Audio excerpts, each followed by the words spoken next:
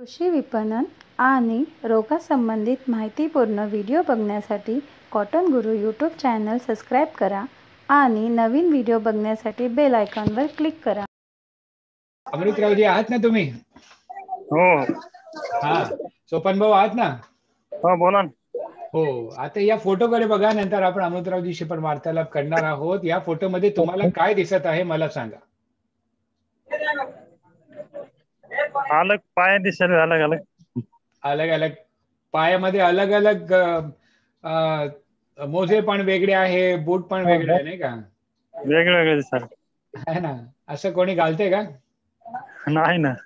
है ना? आणि फक्त अजीब दिसत आहे ना बघा.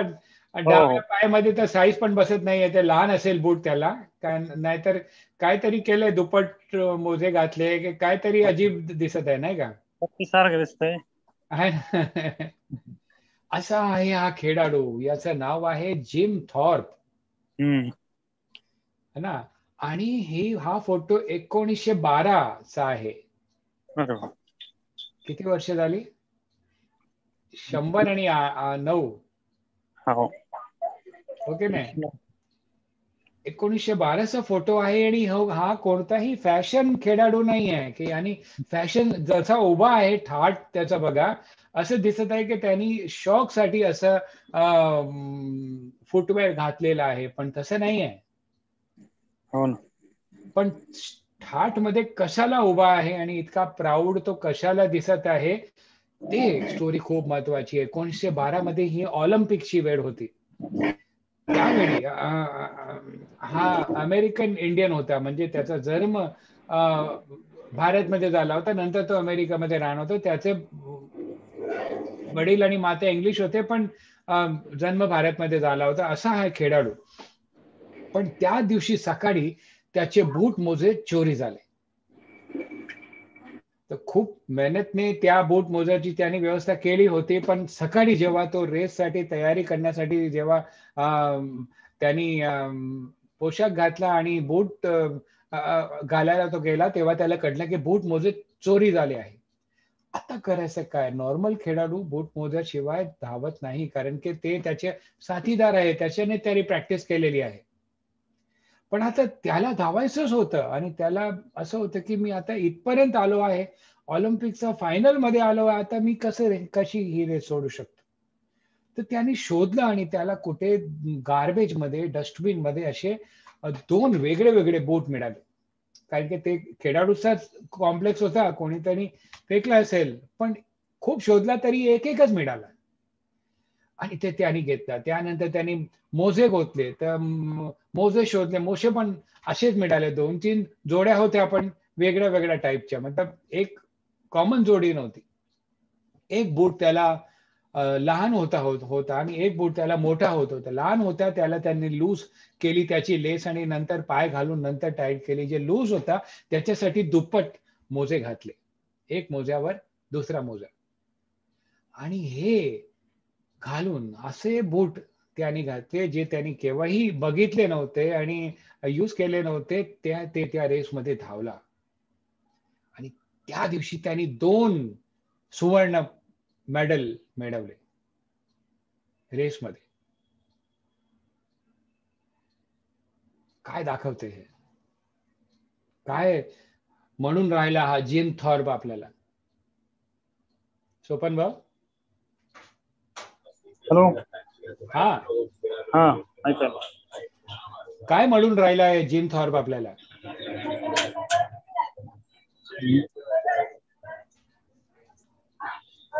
हॅलो हम्म. काय काय आपल्याला सीख मिळते इकडून? हॅलो. हा बोला ना. काय म्हणले? याच्यातून काय शिकू शकतो आपण? जिम थॉर्पकडून. नाही लक्षात नाही आलं ते. तुम्ही ही स्टोरी ऐकली का? ते पण नाही ऐकली. मी जे सांगितलं इतका वेळ नाही तेवढं लक्षात नाही आलं. त्याचे जुते हरवले सकाळी. है ना? पण त्याला रेस धावाची होती ऑलिम्पिक त्या दिवशी. हा. एक पर्याय होता की त्या दिवशी मी धावणार नाही हा निर्णय घेतला घेणार. कारण ते त्याला ते एक्सक्यूज होतं ना त्याचे जे रोज जे घालून ज्या ज्या ज्या बूट मोजाची प्रॅक्टिस त्याला होती तेच नव्हते त्याच्याकडे आता. पण त्याला धावायचंच होतं त्या दिवशी कसंही. तर डस्टबिन मधून त्याने दोन बूट शोधून काढले. कारण की रेस सुरू व्हायला फक्त दहा मिनिटाची वेळ होती. आता बूट खरेदी करायला जायचं कुठे? हो ना. वेळ नव्हता. डस्टबिन मधून बूट काढले दोन वेगवेगळ्या टाईपचे. ते. मिळाले त्याला. हा हा मोजे काढले. एक बूट हा. लहान होता एक बूट त्याला साईजमध्ये मोठा होता. हो ना. लहान बूटची लेस एकदम लूज करून त्याला घातली आणि थोडी लेस बांधली अर्धवट. आणि जे लूज होता त्याला दोन मोजे घालून त्याने पाय घातले त्याच्यावर. हम्म. आणि अशी रेस धावून ते त्या दिवशी दोन सुवर्ण मेडल त्याला मिळाले. ऑलिम्पिक. जिंकला. हम्म. आता कळलं किती महत्त्व आहे? या हो आपल्याला काय सीख मिळते याच्याकडून? जॉन थॉर्पकडून हो ना म्हणजे जिम थॉर्प परिस्थिती बघून काम करावं लागेल ना. हा? परिस्थिती बघूनच पुढे जावं लागेल ना. बरोबर आहे. हम्म. बरोबर आहे. परिस्थिती म्हणजे टाइमला करावं काही. असं ते पुढचं स्पर्धा जिंकली पाहिजे. हा. एकदम बरोबर आहे. अजून हो. कोणी काही सांगायला इच्छते का? अमृतरावजी? हा? आपल्याला काय वाटतंय?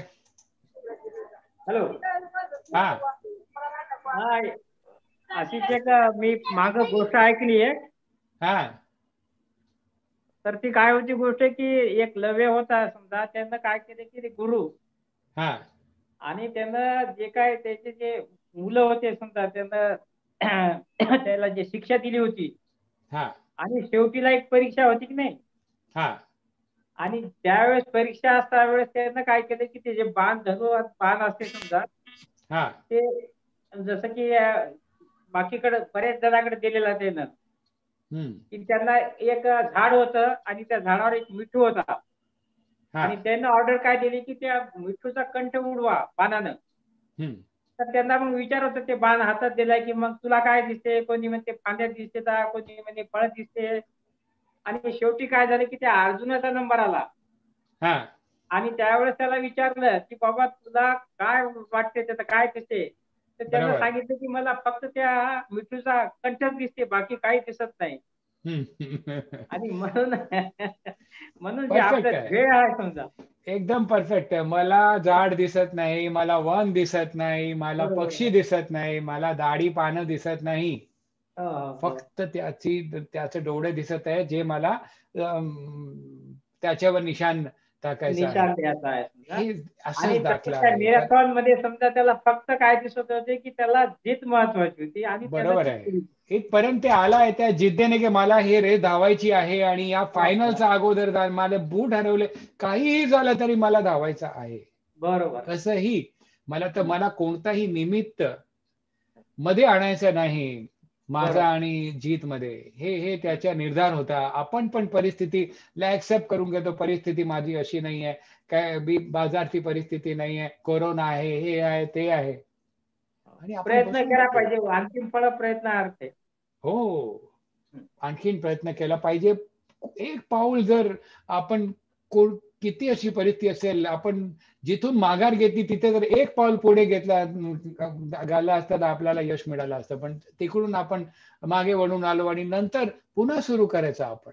बरोबर. तो प्रवास है ना? आणि अर्धवट आल्यानंतर आपण गेलो तर हेच सांगायचं बिलकुल. तर सोपन भाऊ आता आपल्या संगती जोडले आहे अमृतरावजी देशमुख राज्य पारितोषिक विजय. शेतकरी पन्नास क्विंटल प्रति एकर कापसामध्ये घेणार आहे. सोयाबीन मध्ये पण खूप यश त्यांनी मिळवले आहे. तुमच्या एरियामध्ये सोयाबीन पण होत आहे. हळदची शेती पण. चांगली हो. होत आहे. है ना? खरीदार तर आपण तुम्हाला आणून देऊ. जसं आपण हो.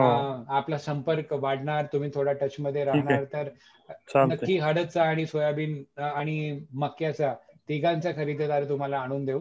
आणि रबी आता तुमच्याकडे चना असेल तर ते पण तुम्ही सांगा. तर अमृतरावजीला तुम्हाला काय विचारायचं कसं खर्च कमी करू शकतो शेतामध्ये?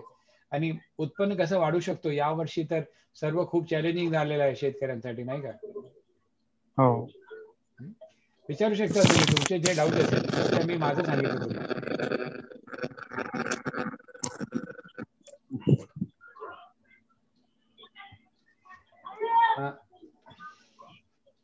आहे तुम्हाला हॅलो. डाऊट की तुम्ही समाधानी आहात शेतीमध्ये? हो. हं? हॅलो. हा जी बोला ना. अमृतराव देशमुख बोला हो हो. नमस्कार बोला. बोला त्यांच्याशी डायरेक्ट संवाद हा, साधा ना तुमच्यासमोर बसले आहे.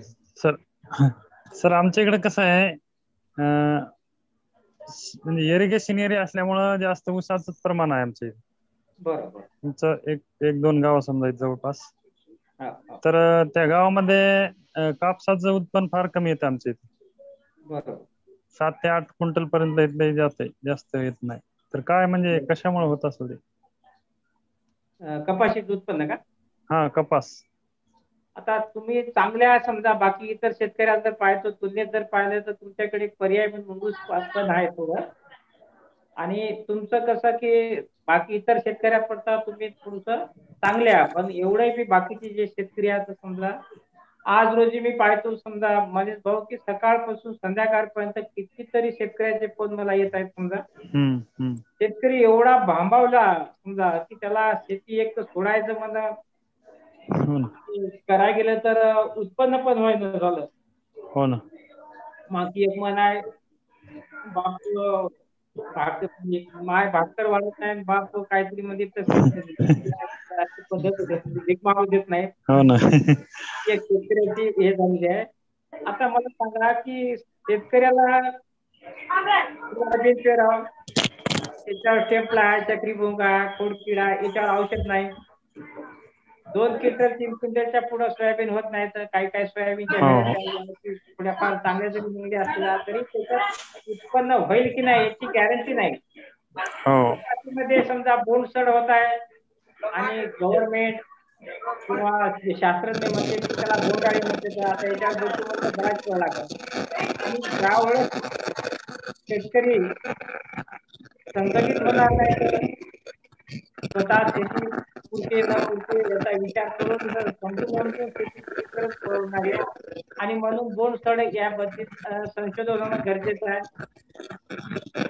दुसरे पीक आहे तर उन्हाळी यावर्षी पाहतो आपण आपलं मका पण झालेली नाही. हायब्रिडामध्ये बरेचसे पाहिजे यावर्षी दाणेच धरले नाही. भैमुगाची अशी परिस्थिती आहे की पाच पाच एकर भैमुग शेतकऱ्यांना ज्या बोललं तर एका पाच एकरात एक पिपा पण शेंगा निघल्या नाही म्हणजे उपटून काढण्याची त्याच्यात मजुरी पण झाली नाही. आता येणाऱ्या काळात कापूस पिकते पीक नाही याची गॅरंटी नाही सोयाबीन पीक पीक नाही याची गॅरंटी नाही मक्का पिकते की नाही याची गॅरंटी नाही कारण त्याच्यात लष्करी आळी आलेली आहे. आणि म्हणून कसं आहे की शेतकरी खूप मोठ्या प्रमाणात धास्तावलेला आहे शेती करण्याबद्दल. आणि म्हणून महत्वाचं की सर्व शेतकऱ्यांना संघटित होणं आपल्या पद्धतीनं अमृत पॅटर्न पद्धतीनं आपण काय करणार आहोत की यावर्षी फॉर्म पण भरून घेणार आहोत. पालकमंत्र्याकडे कलेक्टर साहेबाकडे पण आपण देणार आहोत. समजा की विषयी आम्हाला घाटा नाही आला पाहिजे. जर घाटा आला तर आमची भरपाई तुम्ही करून द्या. पीक विमा पण आम्हाला भेटून द्या. तरच आम्हाला तुमची मस्त आम्ही शेती करतो नाही तर करणार नाही आम्ही शेती नसल होत तर आम्हाला एक पर्याय म्हणून दुसरं पीक तरी द्या. आणि म्हणून काय झालं की आता आपण जर आम्हाला जर शंभर एकर जर कॉटनला जसं तूर असो सोयाबीन असो किंवा ऊस जरी असत चालते हळद असत चालते कोणतंही पीक असो आपल्याला त्या पिकाशी काय देणं घेत नाही आपलं उत्पन्न कसं जास्तीत जास्त वाढेल याला महत्त्व आहे. की आपला खर्च कमी झाला पाहिजे आणि उत्पन्न खूप झालं. रुपयाचे तीन रुपये झाले ते शेती पोहोचते दोन रुपये झाले ते होणार नाही. आणि मग खर्च कमी करून जास्त वाढू नये. काळाची आता काही काही भागात जसं की संघटनेचे जे आहेत आपलं स्वाभिमानी संघटनेचे अध्यक्ष आहेत शेट्टीजी त्याच्या कृपेने समजा थोडासा भाव तरी आता उसाला मिळत आहे. आणि म्हणून संघटित यावेळेस बाकी बऱ्याचशा भागात शेतकरी आहेत त्याचा उसाला कारखाने पण बरेचसे भाव देते आणि म्हणून प्रत्येक गोष्ट संघटित होणं पण तेवढंच महत्वाचं आहे. आणि नुसतं कमाई आपण पिकवलं खूप सारं समजा त्याला बी किंमत नाही. त्याचा आपण जे माल आला आहे समजा ते झालेला उत्पन्न आहे आता यावर्षी पाहतो की नाही सोयाबीन तीन क्विंटल चार क्विंटल उत्पन्न निघ झालेलं आहे. कोणाचाही खर्च दिला नाही. बरेचसे शेतकरी तीस हजार बत्तीसशे चार हजार पर्यंत पूर्ण विकून मोकळे झालेले आहेत. आता सात साडेसात हजाराच्या वर भाव गेला समजा कुठे चार हजार कुठे साडेसात हजार आहे. म्हणजे एकाच महिन्यात एवढं आपण घाटा पण करू शकलो समजा. तसं आता मी उदाहरणार्थ तुम्हाला खूप सांगू शकतो की समजा आपल्या पद्धतीने उत्पन्न वाढवू शकतो समजा. हे आपलं आपल्याला त्याच्यात या विषयाची नस सापडलेली आहे परंतु कोणताही माणूस झाला कोणताही जरी झाला तरी परिपूर्ण नसते. आणि म्हणून समजा असं आहे की आज एकत्रित होणं एमपीओ सारखे समजा तुमच्यासारखे अं, नाही आपलं मंडळी समजा याच्यात पण याच्यामुळं काय व्हायला की तुमचं परिस्थिती सुधारलं पण तुमच्या भागात जे काही शेतात येऊन पाहून समजा इतर शेतकरी अनुकरण करून जर उत्पन्न वाढवतील तर तुमच्या भागाचा बी खूप कायापालट होणार समजा. आणि म्हणूनच आपल्या पद्धतीनं जर शंभर दोनशे एकर जर शेती आपण तुम्ही जर आम्हाला दिली आम्ही जर केली तर त्याचा खूपच फायदा आहे आणि म्हणून उत्पन्न मार्केटिंग आपल्याला तेवढीच महत्वाची आहे. मार्केटिंग बी असं महत्वाचं आहे की भाव केव्हा कमी होतील केव्हा जास्त होतील हे आपल्याला पण सांगता जमत नाही.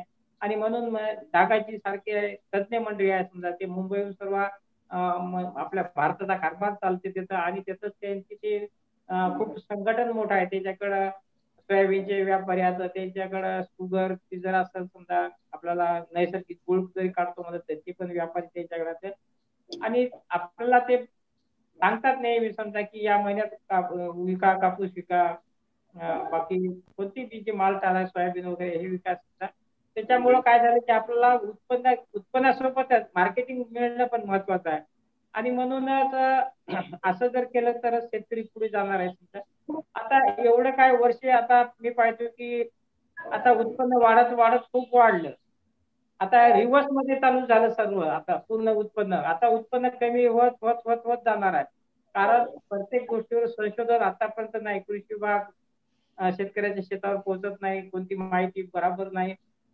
बऱ्याचशा कंपन्या खताच्या असो कीटक असो आणि बी बियाण्याच्या असो हे शेतकऱ्याला चांगले बियाणं दर्जेदार जे बियाणं होतं ते कुठे मिळत नाही. आणि म्हणून काय व्हायचं की उत्पन्न घटत घटत वाढायचं. आणि म्हणूनच आता योगायोग आलेले आहे समजा की आपला जे माल झालेला आहे थोडाफार का होईना समजा. डागाजींच्या मार्फत आपण समजा जर कापूस कमी झाला कमी झाला म्हणजे काय होणार की मार्केट वाढणार. मार्केट वाढलं तर आपण जे आता हे गठाणी जे आपण बनवतो समजा अशा बनवा पाहिजे. नंतर दुसरे काही असेल आणखी नेचाई पडतात पुढे समजा आपलं जाळ जमत असेल तर ते पण आपण करायला पाहिजे. कारण हे आता असं केल्याशिवाय त्याला पर्याय नाही. उत्पन्न जरी कमी झालं तरी आता त्याचे भाव पण कसे मिळाले पाहिजे? एवढं जरी आपण केलं समजा तरी आपण पन्नास टक्के लढाई जिंकलो.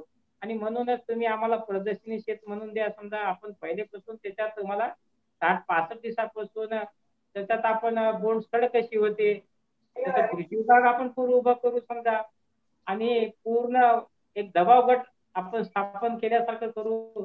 आणि नंतर मग आपण त्यांना पाहू ना काय पुढे चालून कोणते रोग येणार आता काय तर बरेचसे शेतकऱ्याला पाहतो की आणखीनही रोगच नाही समजलेले हम्म. शास्त्रज्ञाला समजले नाही तर तुमच्या आपल्यासारख्या शेतकऱ्याला आपण कुठे समजवणार आणि म्हणूनच हे सोयाबीनचं पीक असो कापसाचं पीक असो कापसामध्ये किती दिवसाला त्याची जे बोंडसड होते साठ पासष्ट दिवसापासून नुकसान पातळी होते. सोयाबीनचं पीक वीस बावीसच्या दिवसापासून त्याच्या स्टेपला काही मग खोडकिडी या सुरुवात होते. तर त्याच्यात आपण काय करू की सर्व आपण कृषी विभाग शास्त्रज्ञ वगैरे सर्व आणून आपल्या शेतात उभं करू समजा. आणि नक्कीच आपण यश आपण प्राप्त करू. तर तर सांगा. मी मग तुम्हाला आणखी परत सांगतो. आहे का अजून चोपन भाऊ काय? हो काय नाही काय नाही. राईट आहे. पण याप्रमाणे शेती नियोजनबद्ध जर केली ना आणि जर. लक्ष दिलं म्हणजे एक साइड आहे उत्पन्न एक साइड आहे खर्च हो आणि एक साइड आहे विपणन. हे जर ट्रायंगल आपला सेट झाला ना बरोबर आणि हे सर्व हो. बिझनेस प्लॅनचा भाग आहे. मिळायला पाहिजे उत्पन्न ते सीझनच्या अगोदर आपण ठरवायला पाहिजे. सीझनच्या अंतमध्ये तर आपल्या हातून निघून गेलाय ती संधी निघाली आहे. हो. हा. नाही? है ना? तर बियाणे कोणते? खरेदी करायचे कसे खरेदी करायचे काय दरावर खरेदी करायचे खते कसं वेळेवर आपल्या शेतकऱ्यांना मिळवून द्यायचे हे सर्व कार्यक्रममध्ये उत्पन्नाचा आपला भाग येतो मातीच्या हम्म. प्रशिक्षण करून त्याची जाणीव शेतकऱ्यांना कशी द्यायची काय केलं पाहिजे आणि शेणखत गांडूळ खत आणि जे कमी भावाचे जे खत आहे पण गुणधर्म खूप चांगले आहे मित्र कीड त्याचं त्या- ज्यानं वाढत आहे अशी माती कशी बनवून घ्यायची? हे सर्व कार्य जर एफपीओने करून दिलंय मदत केली शेतकऱ्यांना तर खूप जवळ येणार तुमच्या शेतकरी कारण की त्याचं उत्पन्न त्याला शेतामध्ये दिसणार आहे. हो. वेबिनारमध्ये नाही. शेतीमध्ये दिसेल. हा शेतीमध्ये दिसायला पाहिजे आणि नफा घरी दिसायला पाहिजे. हो हो. हो की नाही? माझं हो, स्वप्न आहे घर बनवायचं आहे एक ट्रॅक्टर खरेदी करायची आहे मुलाला एक चांगल्या शाळेमध्ये ऍडमिशन मिळवून द्यायचं आहे तर त्याच्यासाठी जे पैसा पाहिजे ते शेतीमधूनच आला पाहिजे बरोबर आहे. लोन घेऊन नाही आला पाहिजे किंवा. मजुरी करून नाही आला पाहिजे बरोबर. आता कसं की जे शेतकरी जे आहेत ना एमपीओ शिवाय जिथे राहणार नाहीत आणि. एवढे भयानक फायदे आहेत एमपीओ चे समजा हो. म्हणजे की खत मिळणार औषधी कमी मिळणार फवारणी यंत्र पण आपल्या शंभर रुपयाच्या आतमध्ये एकर पडणार समजा. आणि नंतर त्याच्यातून गव्हर्नमेंटच्या पण भयानक सबसिडी आहेत आपल्याला जेवढं करतो म्हणलं तेवढं कमी आहे. आणि म्हणूनच शेतकऱ्यांना हा संधीचं सोनं करून घेणं महत्वाचं. बिलकुल महत्वाचं आहे. खरी गोष्ट आहे.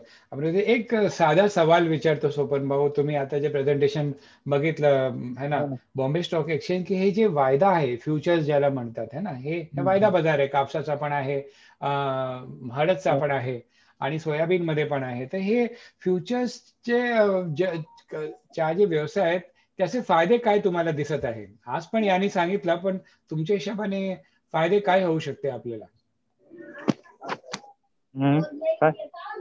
फ्युचर्स बिझनेस ज्याला म्हणतात ना वायदा बाजार. आता तुम्ही कापूसचं तुम्ही एक प्रेझेंटेशन बघितलं ना? हो बघितलं. हा तसंच फ्युचर बिझनेस हळदमध्ये पण आहे तसंच सोयाबीन मध्ये पण आहे. हो ना असतं ना, हो ना. ना? आहे ना? हो, तर आहे. तुमच्या हिशोबाने त्याचे फायदे काय आहे? फायदे हो. व्यापार आपण कशाला करायचा? आपल्याला फायदा काय होणार हे करून? पण फायदा होतो ना हळदीमध्ये होईल आता फ्युचरमध्ये. कसं म्हणजे मी तुम्हाला प्रोडक्ट नाही विचारत पण मी तुम्हाला फ्युचर्सचा फायदा विचारतो की कशाला आपण फ्युचर्स केलं पाहिजे.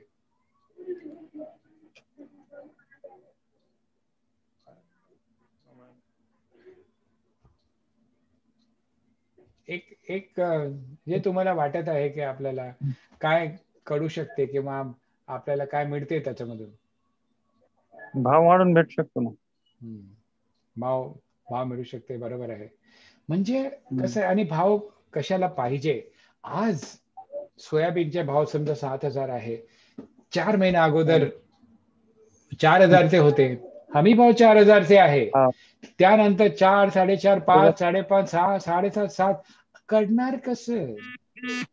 तुम्ही चार हजारमध्ये विकला आणि तुम्ही जर सात हजारमध्ये खरेदी केली आज तर दोघे सिनेरिओ मध्ये तुम्हाला नुकसान होऊ शकते. हो ना. हो ना. आणि यावर्षी जर लागवड जास्त झाली आणि तुम्ही खूप सोयाबीन ची जी तुम्ही लागवड केली तर पुढे जाऊन जर भाव घसरले तर तुमच्या नियोजन फेल होऊ शकतो हो, हो. हो की नाही? कारण की हे हे हे मानसिकता आहे शेतकऱ्याची. आज जे भाव आहे त्याप्रमाणे टाकायचं. ऑक्टोबरमध्ये भाव काय आहे? जेव्हा आपलं पीक. येणार आहे बाजारमध्ये ते महत्वाचं आहे. तर फ्युचरचं काम आहे तुमचा रिस्क. म्हणजे प्राइस जितका फ्लक्च्युएट होतो कापसाचा बाजार सात हजार ते साडेसहा चार ते साडेसहा झाला सोयाबीन चार ते सात झाला. त्याचे प्राइस फ्लक्च्युएशनमध्ये जे रिस्क असतं ना आपल्याला एफपीओ ला ते कसं कमी करून हो. घेणं हे खूप महत्वाचं आणि हे आपल्याला मिळतं फ्युचर्समध्ये. हो की नाही? हो ना. बरोबर. आपला प्राइस बांधून घेऊ शकतो आपण. या भावामध्ये फिक्स झाला आपला प्राइस आता. हो. आज जर तुम्ही सोयाबीनचे फ्युचर्स बघितले तर सहा हजार रुपये आहे ऑक्टोबरचे. तर. आपण आपला जर नियोजन केलं की मला जर आठचा उत्पन्न मिळणार आहे. है ना? आणि माझा खर्च जर बारा तेरा हजार रुपये एकरी होणार आहे समजा. हा. तर मला किलोला हा भाव पडत आहे समजा आता. हा. समजा चाळीस रुपये पडत आहे पंचेचाळीस पडत. आणि मला साठ रुपये मध्ये आता जात आहे. हो ना. है ना तर आपण पन्नास टक्का पंचवीस टक्के माल आपण फ्युचर्सवर हॅच करू शकतो? हो तसंच कापसामध्ये करू शकतो. हमी भाव आपल्याला माहिती आहे काय आहे? हो ना. आणि फ्युचरमध्ये जर जास्त भाव दिसाले हमी भावपेक्षा तर आपण. पंचवीस टक्के कापूस हॅच करू शकतो? हो. हा एक एफपीओ साठी मोठा कार्यक्रम आहे जे इंडिव्हिज्युअल शेतकरी केव्हाही करू शकणार नाही. हो संधी आहे भरपूर संधी आहेत. आहे. म्हणजे युवाला खूप संधी आहे. कारण की तुम्ही टेक्नॉलॉजी समजता भाऊ. करावं लागेल. टेक्नॉलॉजी म्हणजे चा उपयोग करून हे करा. आणि कॉटन गुरु मोबाईल ऍप जर तुम्ही डाउनलोड नाही करून घेतला अजूनपर्यंत तुम्ही डाउनलोड करा. कॉटन गुरु महा एफपीओ फेडरेशनचा मोबाईल ऍप त्याच्या सर्व्हिसेसचे फायदे घ्या. आणि तुमच्या शेतकऱ्यांना पण द्या. ते फ्री डाउनलोड अवेलेबल आहे गुगल. प्ले ठीक. खूप खूप आभार. आजच्या कार्यक्रमामध्ये आमचे प्रमुख मावळे म्हणून जुडलेले Paul agro Producers Company Limited, Parvani. Um,